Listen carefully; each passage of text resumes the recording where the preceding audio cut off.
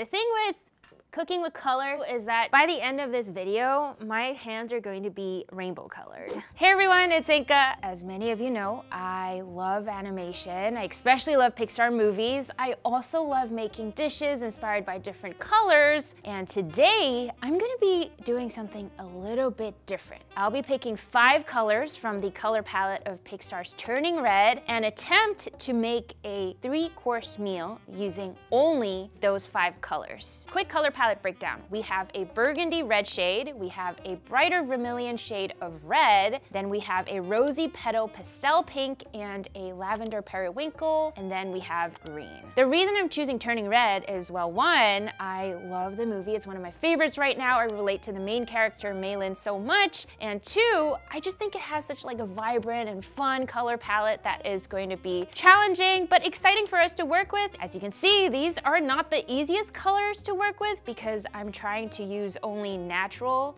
colored ingredients, but we're gonna try and do it. So let's get started.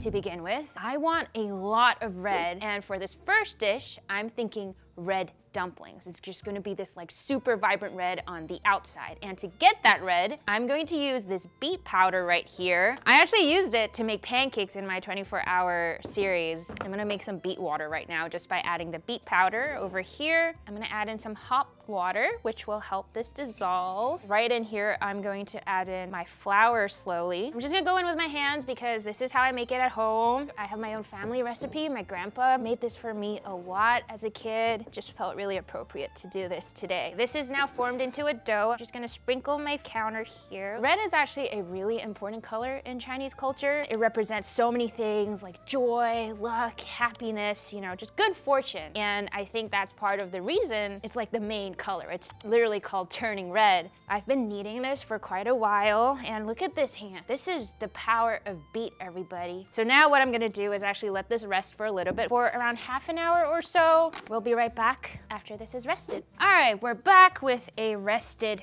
dumpling dough. And this is what my grandpa taught me. I'm gonna roll it out into a log and then we're going to section it off into little pieces before we roll them out into wrappers. I'm gonna cut these little bits out now. I cannot tell you the amount of times I've watched my grandpa make this. This is what he does and he does it like so much faster than I'm doing it right now. We're just slowly rolling out the edges here. You wanna thin out the edges because that's the part that's gonna fold together, but you don't want it to be so thin that it breaks. So this this is the first wrapper. It's around this big. I'm gonna continue making some more right now. So I'm going to keep doing this and we'll be back when I finish all of it. All right, we have our dumpling wrappers rolled out. We're gonna go ahead and take one now. And I actually already have some filling here. This is a dumpling filling that I grew up having. It's my grandpa's recipe. Grandpa passed to mom, passed to me. I have a video on this, so you can go check that out. We're gonna go ahead and just scoop this into our dumpling wrapper here. I always end up being too greedy here. I'm going to just put some water around the edges and then just fold it in like so. It's like pleating it, you know? And you see the beautiful thing about homemade wrappers is that it really just does stick together so easily. And there you have a beautiful little beet dumpling. Green in the movie, I feel like kind of represents the mom. Mei's room is also green, whereas she's this like super vibrant red. So it's almost like she's trying to break out of this system that she's in, like how, you know, I think her mom wants to be calm and collected and she's like, but I have emotions. So the red and green, I think, is a very interesting contrast there between her and her mom. My mom and I actually make dumplings together. By the time I make one, she's already made like five. So let me finish up here and then we can bring the steamer in and get these going. I'm back, I have my beautiful bamboo steamer here. It's huge. So normally I would actually steam with parchment paper or like if I have some sort of steaming cloth with me at home. But today, to fit the theme of red and green, I'm gonna steam it over cabbage. All right, so this is looking good. Now I'm going to put my dumplings right on top. I made like really big dumplings. I was really excited about the filling. So now I'm gonna put these right over the pot, closing in. This is gonna take a couple of minutes to steam, probably a little longer than expected because I made them so big, but um, I'm excited to see how these turn out. Woo! Look at how beautiful that red is. So I'm gonna plate this on here, and I also have some chives and chili oil. I think I'm just excited because I'm hungry. Why did I make them so big? What am I gonna do? Can I fit them all? Look at how big this is. Oh my God. Here you go. This is what it looks like. All right, I'm gonna put some chili oil right in here. And once again, to fit our color palette, we're gonna add a sprinkle of green in the form of chives. So Meilin and her mother are one. And there you have it. That is the first dish of our three course meal. But for now, we're gonna go ahead and work on our second course. We're back and I have moved on to the main dish of our three course meal. It's called Hong Shao. So the first step I'm doing here is just melting some rock sugar in some hot oil. This is to help caramelize the pork belly, which we're going to add later. The pork belly here has already been blanched for a few minutes. This is looking kind of melted. You can see that the sugar has now become little puddles of golden brown. So this is where I'm gonna add in the pork belly. And so I'm gonna let this just sit for a little bit. What I thought was really cool too about Turning Red and the foods featured in it is that the team and the art team specifically actually put a lot of effort into doing research for everything you see in the film.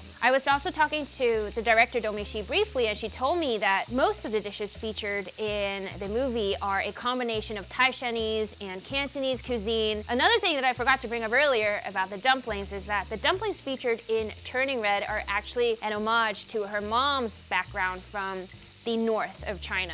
It is a beautiful golden brown. I have both light soy sauce and dark soy sauce. So adding both of those in and also some rice wine. I believe this is Shaoxing rice wine. Now I'm just going to add in the water and I know that's a lot of water, but we're gonna be braising this. We're going to be cooking this down around like 45 minutes or so. So I'm going to let this do its thing and we're gonna get started working on our rice. So again, to stick with the color palette that we have today, I'm thinking we can make purple rice, which I have done before for I only ate purple foods for 24 hours to change it up a little bit. And I'm actually going to dye my white rice and uh, purple cabbage. What we have here is just sliced purple cabbage that we've boiled for 15 minutes and then steeped again for 15 minutes. I'm gonna use this liquid to cook my rice. So I'm gonna first strain this. So I'm gonna go ahead and put my rice in here first. And then we're just gonna fill this up. It looks like I put like so much food dye in here, but this is really truly just purple cabbage itself. Gonna let this rice cook. I think pork belly is pretty much done and we can plate this up. I have some cilantro here on my plate. So now we're going to plate up our pork belly. So we're going to just plate place that on here. We're serving this up family style, hence the plating. That's why I'm plating everything in. I'm not eating this all by myself, I promise.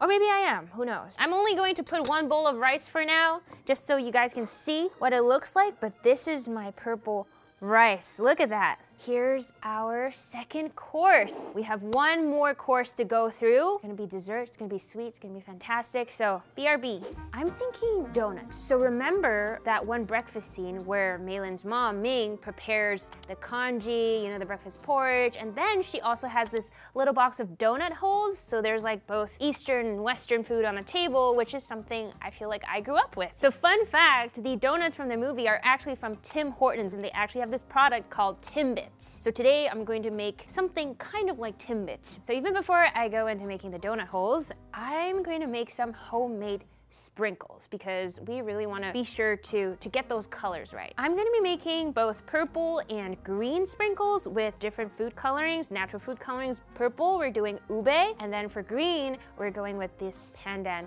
extract. So we're gonna get started by having some powdered sugar here. And to this powdered sugar, I am going to add in a tablespoon of water and I'm going to put in corn syrup. The thing with Cooking with color too is that by the end of this video, my hands are going to be rainbow colored. So Oh! Accidents happen and that's okay. I think we have roughly a teaspoon of ube extract here. Ooh, okay, see, I was afraid that I was going to put too much, but I feel like this should be okay so far. And for those of you who are not familiar with the flavor of ube, it's kind of like vanilla, but also like coconut-ish. So here's what we have so far. I'm going to now put this in the piping bag so then we can pipe out our sprinkles. This is the part where you need real steady hands. Okay, here we go. I'm gonna pipe these into straight straight lines, and then we're gonna have to break this up into sprinkle form. I think I'm pretty much finished with my purple sprinkles here. I'm going to now do the same thing with my pandan extract, the green ones, and we're just gonna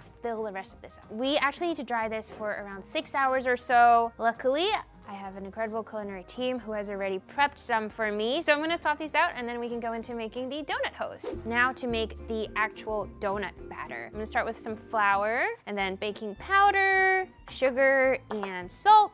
Dry ingredients in one bowl and then wet ingredients in the other bowl. I have some milk here. I'm gonna plop in my egg yolks, one egg yolk, put in a little bit of vanilla extract. Whisk this really quickly together. Now I'm just going to combine the two together until we have a batter. I'm gonna go into adding my melted butter here. And this batter is more of like a clumpy, thicker batter. I think this looks pretty good. It is now a very sticky dough. So now that this is done, I am going to start frying my donut holes. Frying station is now ready and set up. So I have a little ice cream scoop here. This is what I'm gonna use to scoop out my donut batter. Woohoo!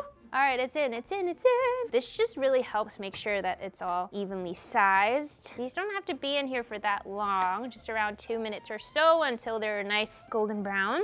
Okay, these are now a beautiful brown. So I'm gonna take them out before they burn. So now I'm gonna go ahead and finish frying up the rest of this, and then we can go into decorating, making the glaze. My donut holes are ready and they've cooled down. I'm gonna set this here for now while I work on the glaze, which we will make into to a light pastel pink, which actually apparently the pastel pink colors and purple were inspired by Sailor Moon. It's like very dreamy transformation. The film is supposed to be set in the early 2000s, so it's kind of like, you know, that like boy band, pop culture, fun tween energy. So we're just going with that kind of vibe here. Light pink is sort of the running theme that we also see in Turning Red. You remember those like pink clouds that kind of poof up when May turns into the red panda? It's kind of like a transformation thing. It's very dreamy creamy. In order to try to make this light pink, I am using a combination of both strawberry powder and beet powder. Give this a gentle toss just to make sure all the colors are in here. And then now I'm going to add in my milk. When I was a teenager, of course I was into boy bands. I feel like everybody goes through that phase, you know? Like, did I have posters on my wall at one point? No, because my mom wouldn't let me. But did I want to go to a concert and like sneak out? I didn't sneak out, I asked for permission. I'm oh yeah, it looks really good. I'm gonna dip my donut holes in here and then we're gonna sprinkle some purple and green sprinkles on there. Look at that, beautiful. Before it dries up, I'm going to quickly sprinkle some green and purple sprinkles on here. All right, amazing. I hope Tim Horton is proud. Here we are, our final course for our three course meal, these beautiful pink, purple, green donuts. I think it's time to bring everything else in so you guys can have the full picture of what this entire meal looks like. Okay, here we have the whole meal and all five colors, burgundy red, vermilion red, lavender periwinkle, pastel pink, and emerald green. Playing with natural food coloring can always be a little bit intimidating and you never really know what to expect, but I feel like the colors really came through Dumplings obviously amazing. Oh my god, homemade wrappers are chewy and cute and this sauce, oh my god. Pork belly, look at how shiny it is because it's been braised, it's so tender. eat it with some rice. Mmm, this purple cabbage hack is just incredible. Last but not least, gotta try my donuts. Very good. And freeze-dried strawberries, oh my gosh. Thank you guys so much for watching. I had so much fun. If you have a movie you love and that you want us to try cooking with, their colors, let us know in the comments below. Otherwise, we will see you next time. Bye.